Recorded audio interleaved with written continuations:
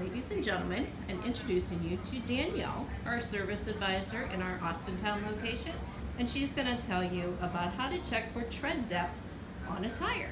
Danielle? Hi. So I have two examples of tires here. This first one, if it looks anything like this, where you can't put in, you don't have any indentation, you know it's time for new tires. There's no reason to check tread here. You want to get rid of this.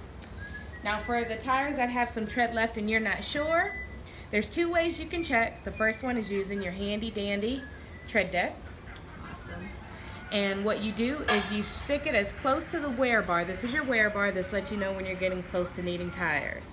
So what you do is you stick this here and you push down and you'll have your numbers. And as you can see here, we're at a four which is pretty close to red. Red means it's time to replace. Yellow means you've got a little time left. So once again, you stick this right in here and you look at the number.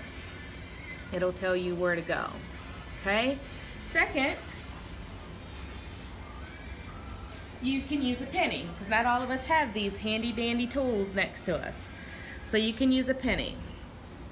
If you get anywhere close to the middle of the head of the uh, of the person on the penny, then you know you're good to go. But if, as you can see, you, there's nowhere to go.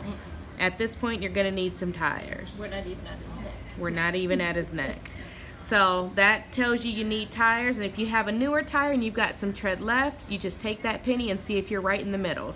And if you're not right in the middle, then you know it's time to replace.